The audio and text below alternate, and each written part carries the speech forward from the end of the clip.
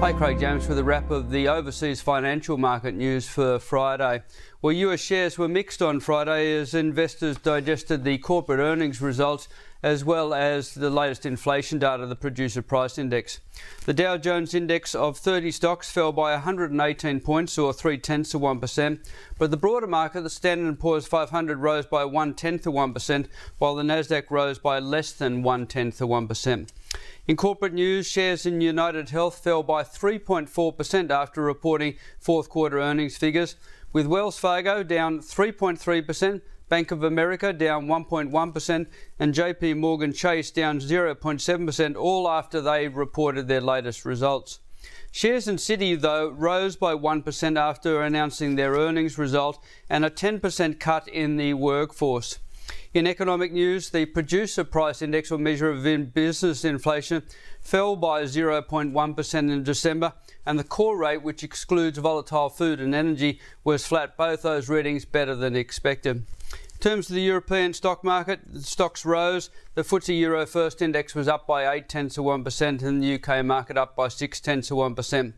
Now, in response to that producer price index in, in the United States, US bond yields were lower, 10 year yields down 4 basis points, and 2 year yields down 11 basis points. Over the week, 10 year yields were down by 11 points, and uh, we had the 2 year yields down in the order of 24 points.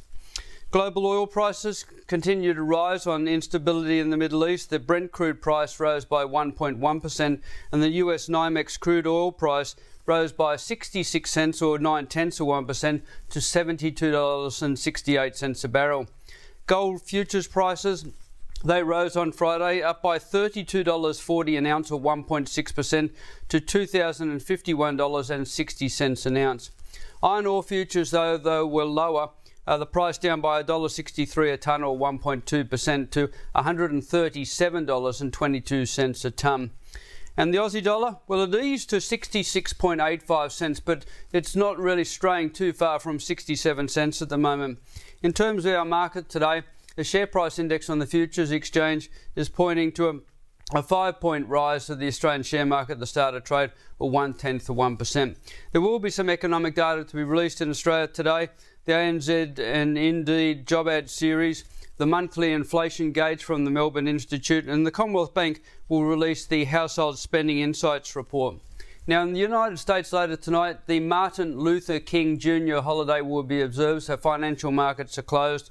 But in China, we will get the result of the one year medium term lending facility rate, and it's expected that there will be a cut in interest rates. We'll leave it there and I hope you have a very good day.